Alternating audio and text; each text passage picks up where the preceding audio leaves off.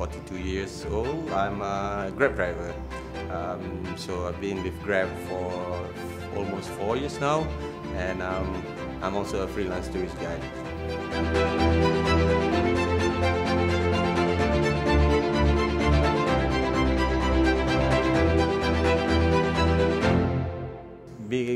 Start be, uh, driving for Grab, I actually am quite intrigued with the flexible time uh, and the incomes that uh, that I'm gonna make, uh, and uh, I think it's a positive way, in a way of making or earning um, for my family.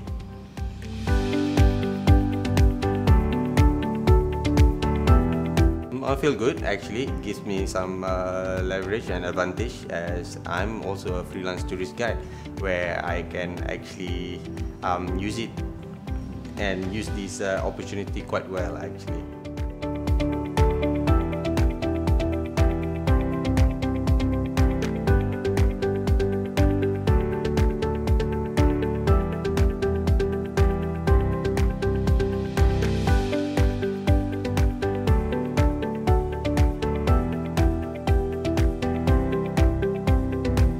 Me, um, when we greet or when I meet uh, the first timers who comes to Sibu, I would always uh, tell them stories about the uh, kampua mee, the kampung mee. Yes, in Sibu you can always have the halal one and also the non-halal one. Uh, I also um, introduce them to Sibu as we have the tallest building in uh, Sibu and every year annual event we would have um, international jumpers who would come over to Sibu and uh, jump uh, from Sanyan Tower which is 136 uh, uh, meter above sea- level. So um, it's nice and uh, and of course most of these visitors we like them to try this uh, longevity noodle or miswa. And food i would say we have a lot of this halal food and uh, non-halal and of course most visitors must check out our night market. It's variant with colors and so on. And all the foods that seen as uh, mom's made home cooked uh, meals yes you might see it there over there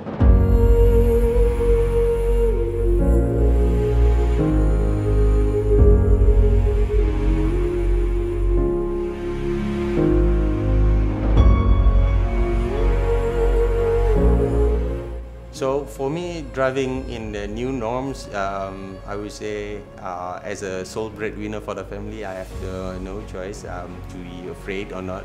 Uh, I really take my chances and earn for the family. Um, as what I understand, um, the virus actually contracted another person through touches uh, and, and uh, uh, you need to cover that. So you need to have an appropriate uh, distance to each other so you don't stand and talk face to face with them too near and so on.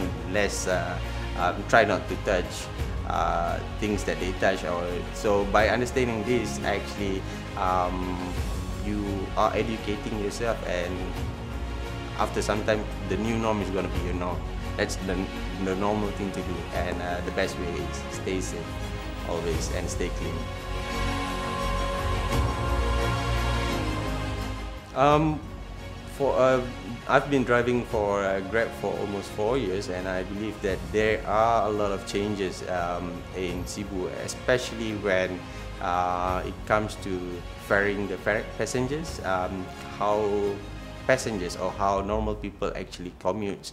Uh, back in the days, you only use buses and uh, taxis, but now you have these uh, smartphones. You can actually book a ride from from point A to point B instantly, and of course it's comfort, uh, comfortable, a comfortable ride, and and of course affordable.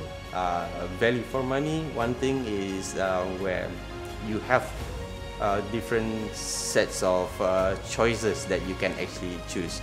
Either you want to choose the uh, conventional taxi or metered taxi or even uh, e-hailing where you actually use this uh, application, you download the application and then use it. So uh, paying could be very easy. Uh, it opens up to a lot of um, opportunities to local traders who actually accept Grab pays and so on in, in their uh, outlets or in servers. So yeah, I think this is one of the major changes that you see. A lot of people are using this uh, particular uh, GrabPay to pay uh, for their transportation daily or even uh, food nowadays.